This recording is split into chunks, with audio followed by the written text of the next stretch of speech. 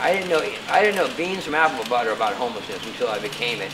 It's something like being pregnant or delivering a child.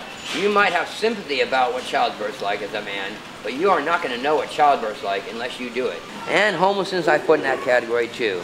You might have a lot of sympathy towards it, but you don't know what it is until you've been through it, you know?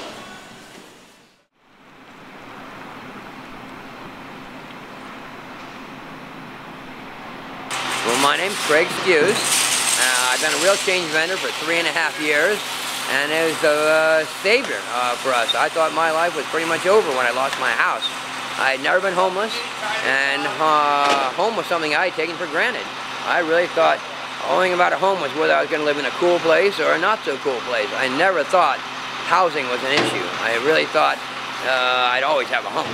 Um, but when uh, our money ran out, we had, we're renting a house in Capitol Hill, um, and my wife's uh, trust fund didn't come through, thanks to her relatives. We ended up living in our car, and um, I just thought it'd be a matter of inconvenience. I did not see what was coming. I thought we'd be homeless in a car for a week or two, and it took a lot longer. Um, I'm very, very grateful to both uh, Central Market and Shoreline for allowing me to make a living here. It took two and a half years to save the money uh, for a first and last month's rent, and now my wife and I have been able to get an apartment off of Greenwood. So uh, it's a complete success story for real change, coming from having nothing uh, and living in a car to then moving into a motel and now having our own home. It's something I always took for granted and I will never take it for granted again.